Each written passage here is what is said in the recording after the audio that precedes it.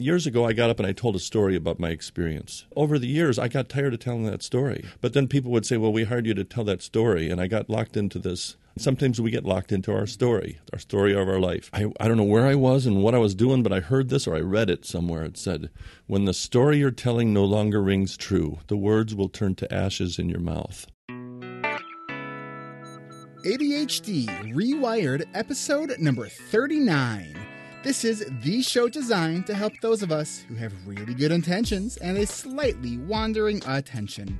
Whether you have ADHD and you want to learn more about it, or you are looking for ways to organize your time, your things, or the many details of life, this show is for you.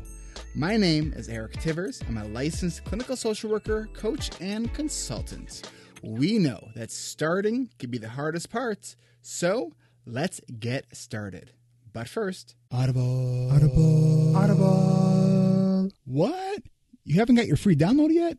Come on. Go to audibletrial.com slash ADHD rewired for your free audiobook download. Audible. Audible. Audible. Trial.com slash ADHD rewired. Get back to work. Do you want to get your ADHD rewired? Let me know you are interested in the next ADHD Rewired Coaching and Accountability Group. You can let me know at my website. Go to erictivers.com slash coaching rewired. That's erictivers.com slash coaching rewired. Hello, Eric Tivers here. And before we get started with this very special episode of ADHD Rewired, I just want to set it up for you a little bit. So, it's a special episode because this is the first um, episode that I am sharing from the CHADD conference, the 2014 CHADD conference that was in Chicago. Now, we know that on ADHD Rewired, I really love stories. And I think the stories are what really bring people together for understanding and having those aha moments where we can all connect and relate. And a lot of our stories start from a period of struggle, a period of, of really going through some, some hardships. But then we come out the other side. And not that it's all rosy and, and great, but through our successes, through understanding kind of what's going on uh, with ourselves, we're able to to really do great things. And the interview that you are about to hear is with someone who has really gone on to do great things, despite having some challenges uh, earlier on in life. The guest that you're about to hear, his name is Jerry Mills, and he describes himself as a concert style uh, keynotist. He gives workshops, and he's just a, a brilliant musician, songwriter, and um, what we'll hear in the episode too is that we learned before we uh, hit record um, when we were talking is that we actually grew up basically down the street from each other, which was just a crazy coincidence. So this is not a typical episode because there's a lot of songs in this episode. Um, he uh, performed some live songs for us that are all uh, really stories of uh, of him and his life and the things that he has experienced. So he is all about uh, um, not doubt, not doubting the dream. He even has on his uh, his card that he gave me. Um, it has a sticky note on his card, and on the card it says, "Don't doubt the dream." So with that, let me bring you this really special episode with Jerry Mills. I am here with Jerry Mills. And Jerry Mills, I, I met him last year at the ADA conference and ran into him again at the 2014 CHADD conference, where we are right now. And in our conversations, we found out that we were virtually backyard neighbors, which is just a crazy, crazy coincidence. So, um, and I'm going to let Jerry kind of explain who he is, um, but this is going to be a real treat. This is going to be something that has not been done um, on ADHD Rewired before, and I'm really excited about this. So, Jerry, welcome. Thank you very much. This is cool. So, tell us a little bit about who you are and what is that big shiny object in your hand? it's a guitar. um, I am uh, an adult with ADD. I have massive ADD. I've had it my whole life, but I didn't know it till I was in my 30s. I found out when I was teaching elementary school. I had a little kid in my class who was exactly like I was, and I uh, didn't know what to do with him. I got a little booklet to read about him, and I read about my whole life. And uh, I wrote a song about it just shortly after that. I've been writing songs for about 35 years. I've written hundreds of songs. But I wrote a song called A Little Piece of Mind. And uh, that's kind of how I the doors opened into the ADHD world was because of that song. And that's actually a song I wrote five days after I started taking medication. So. Wow, that's that's incredible. Yeah. So, are you going to play us that song? Well, I would, but I think it's better as a poem. Um, hmm. But I have another poem I want to share first, and if you understand ADD, you know how this goes because I don't know where my brain's going to go. I want to share a poem with you that used to be a song, and it, this actually was debuted at the first ever National Adult ADD Conference in Ann Arbor, Michigan. The man who organized it, his name was Jim, and he heard this song on my CD and he called me up and he said, Do you realize you have one of the primary diagnostic tools for adult ADD on that recording? And I said, Oh, really? Which song? And he turned up his stereo and he started singing along to this song called Intense. And rather than play any of the song on the guitar, I just want to tell you the lyric to the song. It goes like this Think Think for a minute that some people don't. They would if they could, but they can't. So they won't. And it's not like they don't wish, they usually do. Wish they could think a thought all the way through, but almost as fast as a thought can occur, some fatal distraction is starting to stir until another idea appears in its place, each thought in succession so quickly erased. Picture, if you can, some little jumping beans, and you get an idea of what I really mean. Thoughts jumping around with no rhyme or sense, like the thoughts in my mind jumping round. It's kind of intense. It's kind of intense thinking out of control. And there's times when I think that it's taking its toll as I hang on to one thought to follow it through but it slips through my mind like so many thoughts do. And as soon as this one thought has found its escape, another idea starts to take shape. But soon that grows restless and loses its sense and leaves me with no other thought than it's kind of intense. Now, in case you aren't listening, then there's nothing to hear. But if you are listening, you've got nothing to fear. And if you're getting the feeling that this all seems so dense, then you know what I mean when I say that it's kind of intense. And my favorite, then there's this crazy harmonica break that, that I actually pull a muscle on if I try to play it. But this is my favorite verse, the last verse. Now I don't want your pity because it's really kind of fun to be thinking a new thought before the last one is done. But I do want to leave you with some kind of sense of what it's like to be stuck in a mind that's kind of intense. That's fantastic. I think I just found my new diagnostic tool. Yeah. wow. No, he literally said that, you know, I said, what do you mean diagnostic tool? And he said, the doctors and the psychologists, they can just put it on the sound system in their waiting room and look through their little one way mirror, and all the people with ADD are going to be singing along to the song. it's quite an image. I'd like to do the music video to that. That's awesome. What would that look like? Ah, uh, be pretty crazy. I don't know. That's the cool thing about imagination, though. If I I'd play a song right now called Imagination, except my guitar's tuned for something else. Um, a tune. I do want to play a song because I play the songs that are freshest on my heart, I guess. So the ones that are the, the most recent in your memory. Yeah, and, and not just that, but they're the most emergent, I guess. I've I'm coming back to CHADD after a break of a few years, and I love the people here, and I've known some of them for a long, long, long time, and they're dear friends. And coming back here, um, I think people often expect after a few years that you're going to be like you used to be. And I'm not like I used to be at all anymore because of an experience I had last April. I got a call to go do a gig for hundreds of high school kids. They were at grades 6 through 12. And uh, this community had been overrun by meth. A lot of parents are in prison. It was just a terrible situation. The kids, they said the kids basically were hopeless. So they wanted to know if I would come in and do something. And I remember thinking to myself, I, am not going to say no, but I can't do something ordinary. It has to be out of the ordinary.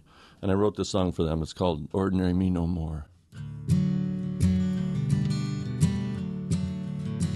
I've got a lifetime of experience stored inside my head.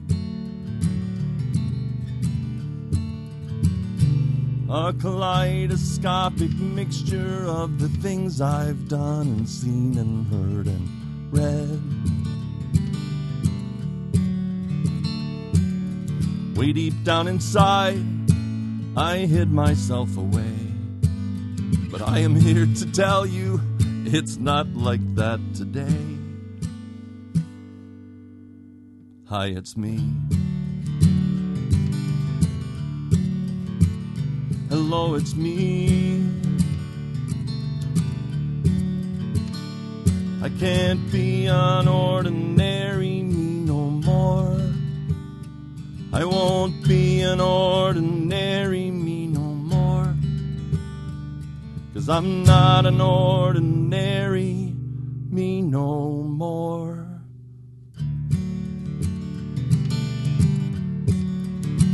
I've spent my lifetime thinking, thinking a billion thoughts inside my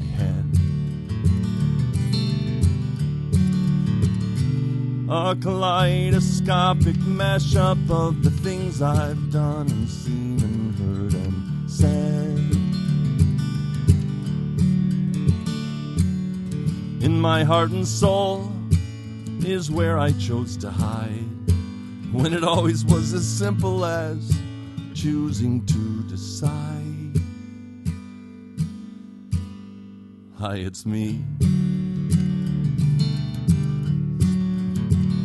Hello, it's me. I can't be an ordinary me no more. I won't be an ordinary me no more. Cause I'm not an ordinary me no more.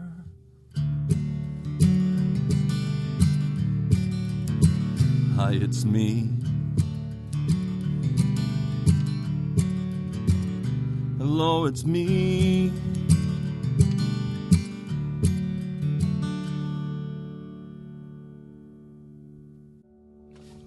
That was incredible. so I had to really use my inhibition because there was I, I was wanting to really just break out and harmonize with that part, cool. but I was like, Well, I'll, do- probably get the wrong note and then I'll do it screw on the, the whole next song. one. Do it on the next one. Uh, you're gonna have to edit out the tuning. I tune because I care. I spent eight years on the road full time with a 12 string guitar. Oh, my gosh. It was made by Leo Kottke or designed by him. It was a Leo Kottke signature. He, he played it in my living room one time. I didn't have time. I didn't have time to enjoy it Now, because was this the same living room that was like a couple houses down from me? no, no, Oh. no. this was in Marquette, Michigan. He was doing a gig in this beautiful auditorium across the street, and talk about ADD, man. That guy is just—he's such a brilliant storyteller, and uh, he was. Does he have ADHD as far as you know? I, I, I wouldn't speak on his behalf. He's just a brilliant character, and I, I just see a huge correlation between uh, your brilliant creativity and I mean, I, I thank God for how I am. I just can't tune and talk at the same time. Give me a second here. I could so relate to that. I want to play a song that was inspired by something that happened on August 14th of the year 2000. I was in East Jessamine County, Kentucky at the high school, East Jessamine County High School. And I was doing a gig for the teachers. I'd speak to hundreds of thousands of teachers, and it was their back to school thing. And afterwards, the high school principal took me on this tour around the building. It was a really cool high school. And he said, I saved this last thing for last. I know you got to get going, but I want you to go in there and look on the wall. And I walked into the special ed resource room, and on the wall was this painting that this kid had painted. And he was telling me how this kid's story reminded me so much of my story, the story I shared. And I walked in, and there was this painting. I'll give it to you to put on your site if you want. It was a painting of Albert Einstein that was painted with black and white paint by this kid named Lee Busick. And next to it said, uh, was a quote by Einstein, and it said, Imagination is more important than knowledge. Knowledge is limited, imagination encircles the world. And that, that quote changed my life. And it led to this song, which is called Imagination.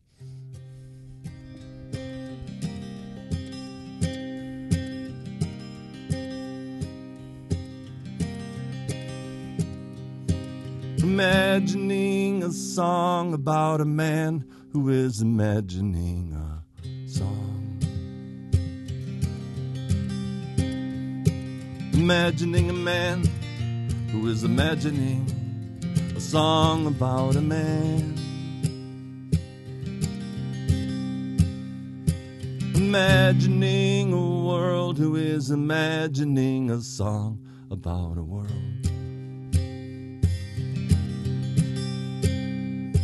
imagining a way to be imagining a song about a way. Imagination, come and be the light in our creation. Imagination, come and be the fuel in our fire. Imagination,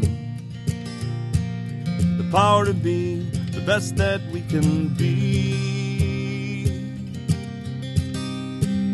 Imagination, where we all create our new reality. Imagining an answer to a question you don't know the answer to. Imagining doing exactly what it is you mean to do. Imagining being exactly who it is you mean to be.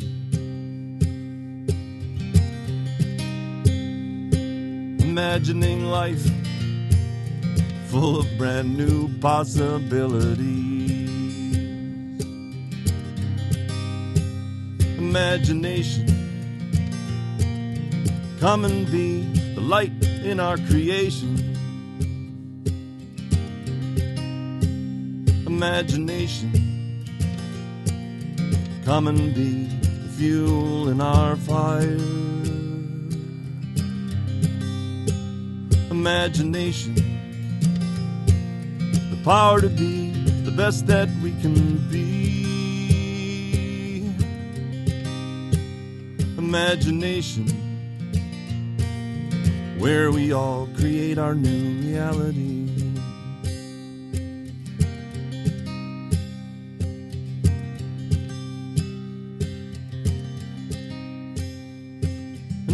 Imagining a song about a man who is imagining a song.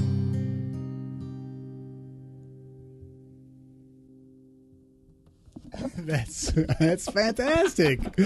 Wow, I, I can see where the the Leo Kottke uh, influences are there. Well, I don't know, man. I, I just I'm really really fortunate to be who I am and get to do what I do. I you know just a little backstory. I uh, like a lot of people, I struggled through an awful lot of adversity when I was a kid. It's a story I actually talk about in my live programs, and I was hurt real bad in an accident when I was a kid and had to have surgery and rehabilitation on my hands, my right hand, and my surgeon told me when I had kind of given up on life, he told me that uh, it was basically going to be my choice what I did with my life, and that he, his last little bit of advice is to find some hobby where I use my hand for hours a day. So I took up playing the guitar as therapy for my hand, and now all these years later, it's turned into this just really, really, really um, fortunate existence. Boom, ch- ch- boom, boom, boom. Audible. Trial.com slash ADHD rewired for your free download. Trial.com slash ADHD rewired. Trial.com slash ADHD rewired. Go to audibletrial.com slash ADHD rewired for your free audiobook download. Eric Tivers here with ADHD Rewired, and I was wondering if you've started thinking about your goals for 2015 yet. I know I have, and I've got a couple big ones that I'm really excited about. But I also know that it takes a lot more than just being excited about an idea to actually make it happen. The first ADHD Rewired online coaching group, it's now coming to a close. This is actually the last week. And to the members of this group, I want to thank each and every one of you for your commitment and dedication, both to your own personal goals and to the group. You have all shown incredible perseverance, and I could not be prouder. You've packed your house and got it on the market. You've organized your office and have managed to maintain that. You've improved your sleep. You've learned how to set goals and track them. You're spending more time with your daughter. You've learned how to take case notes that once took you 45 minutes and you're now getting them done in five minutes. That's awesome. You've learned to change your mindset by expressing gratitude daily. You've learned how to create morning and evening routines. You've learned to plan, break things down, and get things done. It really has been an intense three months, and the fact that this group is now coming to a close, it's kind of bittersweet. I am sad that it's ending, but I can't wait to get the next group going because I know it will change lives. If you're ready to supercharge your productivity, feel less overwhelmed, and more in charge of your life and your goals, let me know you're interested in our next coaching group session. It will be here before you know it. Go to erictivers.com slash coaching rewired. That's erictivers.com slash coaching rewired to let me know you're serious about getting your ADHD rewired. This group will start in January of 2015, and just like the last one, this will sell out.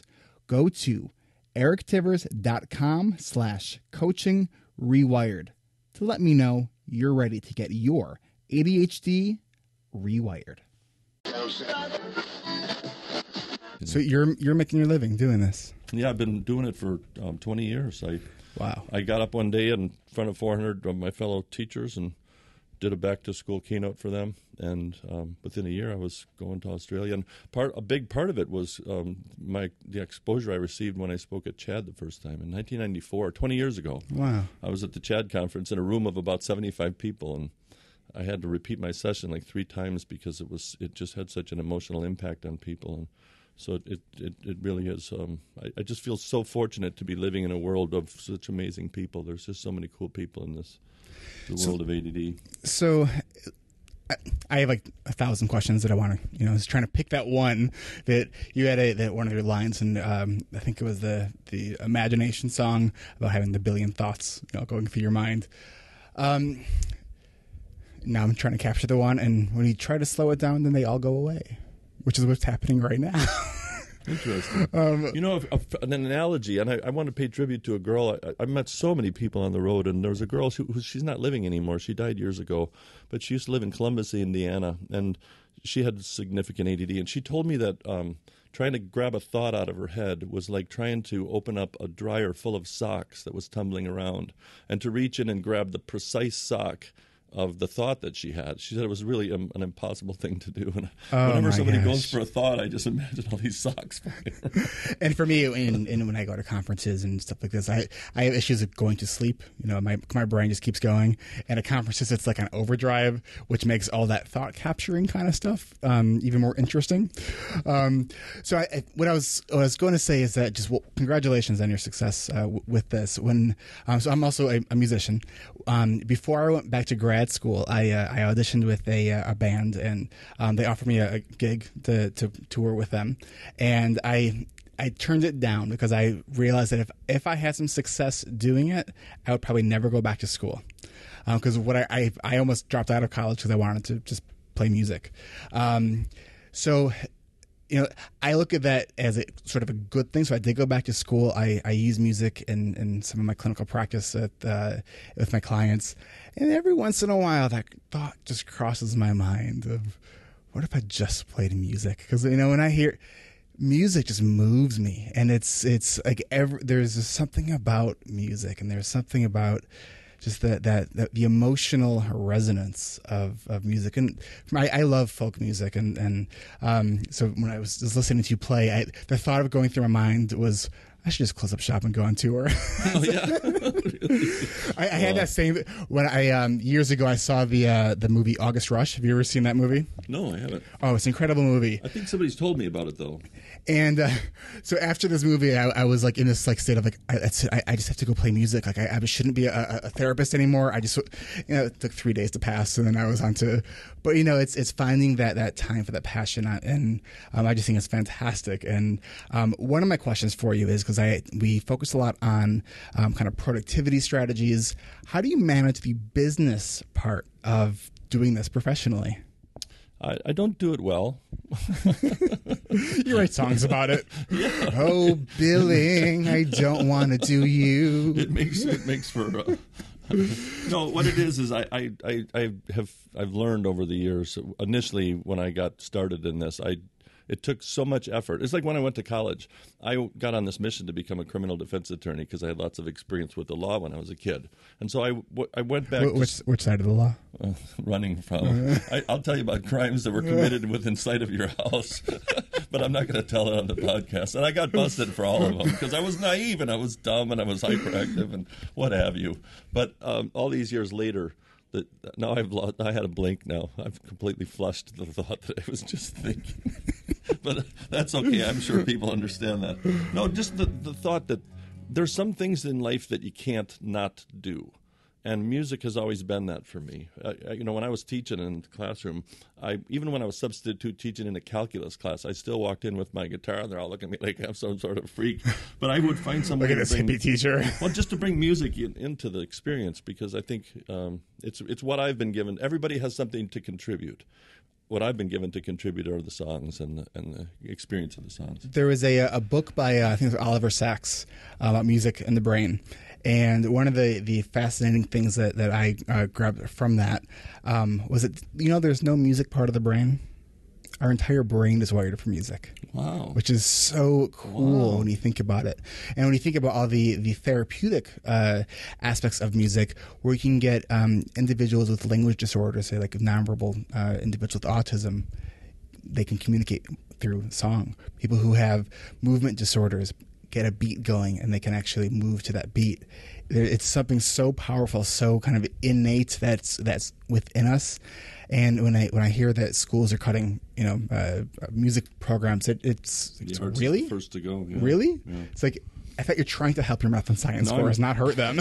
I'm trying to hold these two neurons connected in, in space right now inside my brain because I just I just remembered to get back to the question that you asked before about managing how to manage how you know how Oh, to manage the productivity about your business. Um, I, I'm a perfectionist. A lot of us are. And, you know, I spend so many hours in my life trying to perfect the performance of my database. Not really what's in the database or who I ought to be calling, Just the- but I got to make this field- gradients, No, not, no, just how to make the fields work better and flow better and lay out better. Just all this stuff. And I finally realized that what we got to do is uh, find a way to empower the people who are good at doing that Yes. sort of thing. Yes, yes. So, like recently, I, I met up with a woman who's a real creative uh, whiz and hired a firm, and they're putting together an entirely new way of looking at what I do uh, because my website I basically have done myself forever, and. Uh, it's a nice looking website, but it really doesn't do anything. so I, uh, I'm re- really excited to have you know to kind of turn the things that I'm not good over to other people.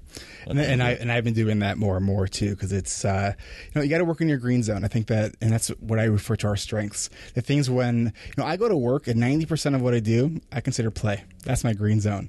Like wh- when I'm working with clients, that's fun for me. I'm doing I do a lot of stuff online. That's fun for me. When I have to do administrative stuff, that is not fun for me. And I, I'll put it off, then I'll get an anxiety about it. And, and I've been been uh, delegating more and more stuff, and it's awesome because that's allowing me to actually do more of this kind of stuff, um, which I'm good at, which is going to to really provide more value uh, for other people. Me trying to stuff envelopes and sending out bills, that's not providing value for anyone, and I, I'm miserable doing it. It's true. It's like torture to me and it's and it, it's you know I'm not even over exaggerating. It's a truly distressing um, uh, feeling, and so it's like. I think that people, and I've said this before on my podcast, that people without ADHD who are able to have a job they love, that's that's great and that's wonderful. But there are lots of people who can who can just have a job that pays the bills and they're okay with that.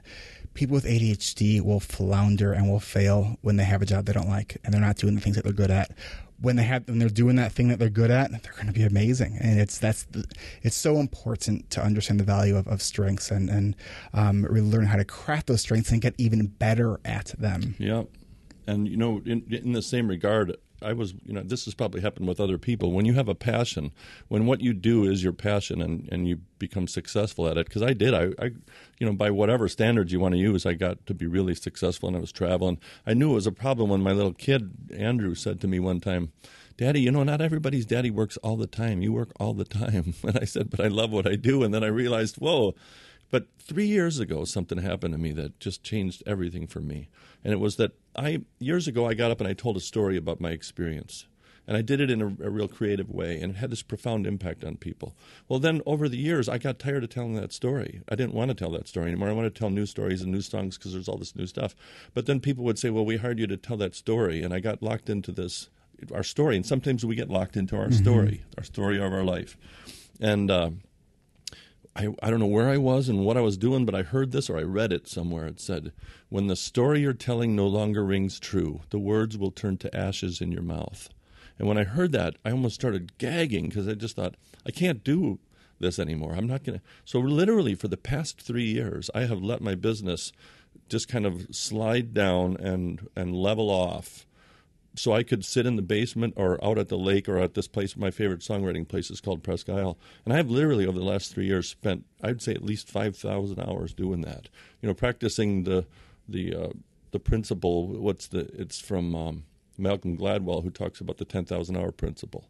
If you want to truly be an expert at something, do it for ten thousand hours, and you will be. And uh, I think it's it's paid off big fruits because I'm certainly not making the income I used to, but I don't think I've ever been so happy in doing what I do, using the gift. I think an, an example, you know, just because I got the guitar tuned up for this, and it's kind of a good song to. I, I want to play this for you personally because you were talking about maybe someday I could do that or would do that. Um, there's a guy I know who was a pilot, and he was a real quirky guy, um, a wonderful teacher of biology and, and high school stuff, and, and he used to take people up flying in his plane. And I found out that he had real bad, he was sick real bad, and that he might not make it. It was one of those pancreatic, and it was a bad thing.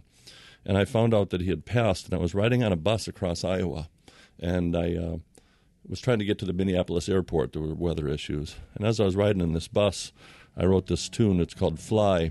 And I actually wrote it for his funeral, but I changed the word sense because I realized that the message is, is much more universal than um, paying your respects to somebody. So this song called Can. All those thoughts about what you wanted, all those words that are living in your head, all those things you did to figure out what's down the road ahead. All this time you've known, you've known a secret kept in your quirky mind. All the while you've lived in awe and wonder. This is the place, now is your time. Now is your time, this is the place. Here and now, amazing grace. There's no easy way to touch the sky, but I know you can fly. You can fly. Love and learn learn and grow. Grow to be who you know. You know who, you know when, you know you can fly. You can fly. Now is your time, this is the place here and now. Amazing grace, there's no easy way to touch the sky, but I know you can.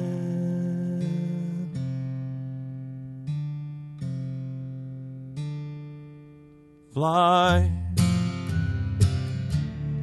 you can fly. Love and learn learn and grow. Grow to be who you know.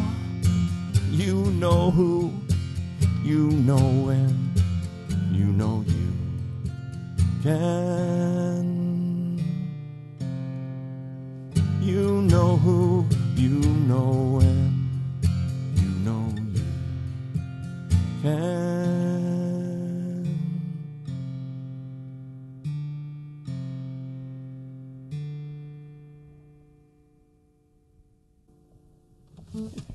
Jerry Mills, I can listen to you all day. I, I was like, man, well, I wish I had my guitar. And yeah. Well, let's do that sometime when I'm down in the neighborhood. Or I'll come find you. All right. I love getting down this way. Awesome. Well, we are uh, we're at the 30 minute mark. I, I had actually no concept of how long we've been in here for. Usually I have timers in front of me and I'm, we're sitting here kind of, I'm holding these microphones and I'm just like, it, I love doing this because it's an intimate setting, and I'm literally six inches from you while doing this entire time. In this little closet. Yeah. Yes, and, and, usually when I'm doing these interviews, it's you know I'm doing this virtually over Skype, and you know this is just so cool. This oh, is cool. so cool. Uh, so now I'm thinking, should I start another podcast all about like musicians who sing songs that are inspirational, life changing? You know those those kinds of those kinds of things that you know I really make a difference. Are you going to be at the tribute tonight? I'm not sure actually. Oh, well, you can edit that part out too if you want. yes, I I, I front row seats. Of no, there's a of course there's a reveal. There's a reveal uh, tonight of something that we've been working on, and um, you'll see it after the conference. But it's a, a song. I did a song. On, was, I, will tell the story tonight, but on May 10th of 2010, uh, May, May 21st of 2010, at a quarter to three in the morning, I was in the basement and I had written this. Uh, this. Uh, can I play another song? Sure, we have time for one more. Do you? Uh, I, I actually have no idea if we do or not, but I'm just like, yes. Uh, this is see. fun. Not thinking about the potential consequences of I've continuing education units I got to go get to sit in these classes. Uh-huh. All right. I can download the recordings of those and get those CEs later here's on. What, here's, here's what I'm telling. I'll, I'll tell you the story, and then you can cut the song because I'll just give you the song, the production of the song. Um, but I got to tune and talk. we saw how that went last time. so years ago, I was in a situation with a woman who I was married to at the time. I'm not to, not anymore, and but I was real angry about something, and uh, so I, I wrote I her a song. The best songs, being angry or being sad yeah. or depressed. I wrote her this song, and it was like, you know, it had these, it had this, it was like. Uh, and it was like real, real intense energy. And she didn't know that I was flying through O'Hare at the same time as she was. So I, I met her at her gate, and she saw me with my guitar, and I motioned for her to follow me, and we went and we sat on this bench, and. Uh, um, this is way too much information because this, is like I'm disrespecting her, but I'm not disrespecting her at all. Okay, so we went, we sat on this bench, and I played her the song, and I put the song away, and I never played it again for 12 years. And I was in the basement. I was playing. This.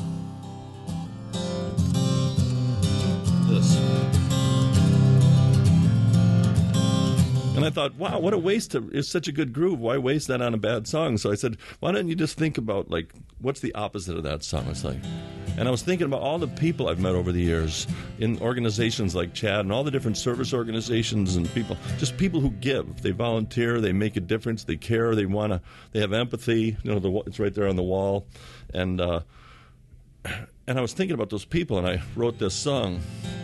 And I'm not kidding you. When I wrote this song, I saw millions of people, and they were all singing this in their in their own language simultaneously and it was kind of freaky. So that was May 21st. On July 8th, I played it in front of 2,000 people in Grand Rapids, Michigan.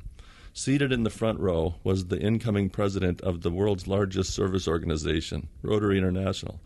He heard the song, they got behind it. I went to Nashville, one of the major studios in Nashville. It's a 100 year old church called Ocean Way, Nashville. And with a gospel choir and a full orchestra, produced this song and it was released all over the world in this in a bunch of languages. But I always knew that the song is so much bigger than a service organization because it's about anybody who really. So what I ended up writing is this. It goes like this. And it's a lyric that a lot of your listeners probably could have written. The words are When I see a need, I like to lend a hand. We all need someone to understand that there are people in this world who really need us now. It's up to each of us to figure out how. We are calling out around the world, come join us. There is work for you and me. We are building communities and bridging continents all around the world. And so this is how the song went.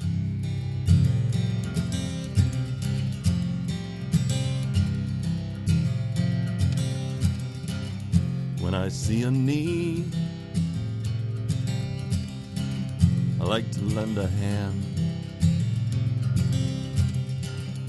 We all need someone to understand that there are people in this world who really need us now. It's up to each of us figure out how. We are calling out around the world, come join us. There is work for you and me. We are building communities and bridging continents all around, all around the world.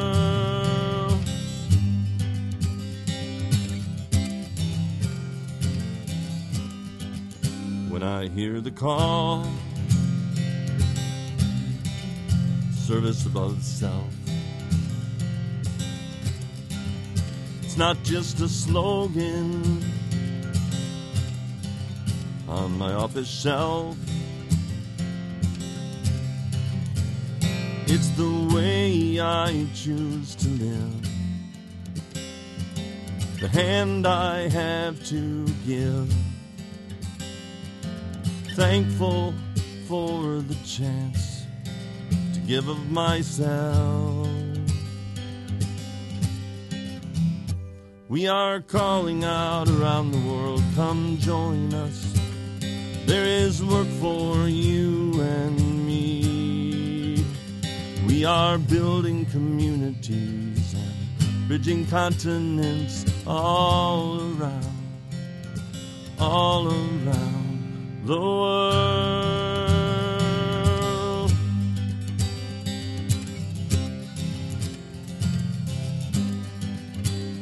We are calling out around the world, come join us. So that's how that's how the song was originally. And if you have a chance, I'll, I'll give you the file from the song that I'm going to do tonight, which is the full production, and you can let people hear what the full production. It's just gorgeous. So Well, Jerry Mills, I think this was this is such a treat. Well, Let's well, do it why would I want to be in a session where I could be sitting here with you doing this? This was fantastic. Well, thank you so much, and uh, let everyone know, please, where where can they find you if they want to hear more of your music, if they want to hire you, because I, I think that more people should hear what you're doing. Um, I, they can contact me through my website. It's just jerrymills.com. There'll be I a just new want to site just so you know, he, he just pulled out his card so we can look at his their own URL for his website. my, my talking points. no, I just My name is wait, let me pull this No, out. it's, it's, fun, it's funny because anybody who knows me, people, there's people who've seen me 10, 15 times, and anybody who knows me knows the story about the post-it note and don't doubt the dream. That's really the theme of everything I do is don't doubt the dream. So I hired this company and I spent all this money trying to figure out what my brand is, right? And we came up with all these different things and slogans, and finally I realized, so my brand is just the post-it note, which is don't doubt the dream. And I, they can find me through the web. I'm on Facebook. I'm, you can certainly find me in front of me there. But um, on YouTube, there's a channel called Boom Zinger, and um, that's my what's that's where I'm posting performance videos. And then I also just started a new YouTube channel. It's called uh, When the Circus Comes to Town, Awesome. and and it I, it's basically I get to see so many cool things, and I shoot them on my uh, iPhone, and they're just they're just weird things. They have nothing to do with anything that I do. They're just interesting videos of a lot of music performances. I get to see a lot of cool musicians, and that that's posted on that channel. So, Boom Zinger for the performance stuff. YouTube, and all of my music's on iTunes. And you know, as as my community knows, they don't have to remember any of these links because they will all be within the show notes. You can open up the app that you're listening to this right now, and you're going to find links to all the things that Jared just mentioned. And they're- Seriously? And they're, yep, and they're Wow, also dude. on. Yeah, and they're also on my website.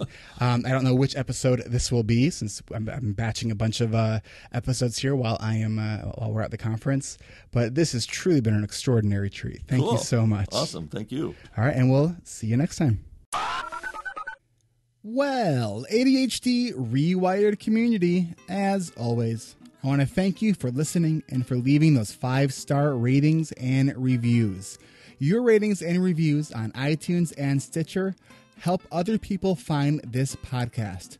it is a big way that you can do a small thing that can make a big difference in the lives of others with ADHD. So, thank you. Are you looking for a coach who is also an accountability partner? Pick me, pick me. Schedule a free 20 minute consultation with me. It's super easy. Go to erictivers.com and click the blue request an appointment bar. We are on Facebook. Like our page and submit your request to join our free community. It's the ADHD Rewired online community. That's at Facebook. If you live in the Northern Illinois area, you are invited to the Northern Illinois chapter of CHADD. We meet on the third Monday of the month in Grayslake. We are also on Facebook and meetup.com, or just check the show notes for a link. If you're not in Northern Illinois, go to chadd.org and find a group in your area. I want to give you a quick update on my sleep goals. So, this has not been a banner week for my sleep. Today is Friday, November 21st, and today's the first day all week that I haven't really felt in a complete fog. So, the CHADD conference took a lot out of me, and I learned from that that I need to give myself one more day to recover. Having a my sleep cut short for several days in a row does have a big impact on me that affects me more than just the next day. So, lessons learned, and I will do my best to be more intentional so I do different next time.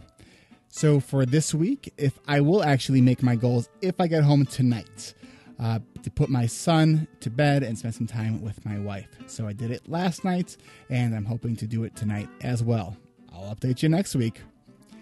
Don't forget, if you would like to be a part of the next ADHD Rewired Coaching and Accountability Group, you can let me know by going to erictivers.com slash coaching rewired. That's erictivers.com slash coaching rewired. The enrollment has not started yet, but I am taking a list of people who are interested because you will be the first to know. That's all I have for this week. Until next time.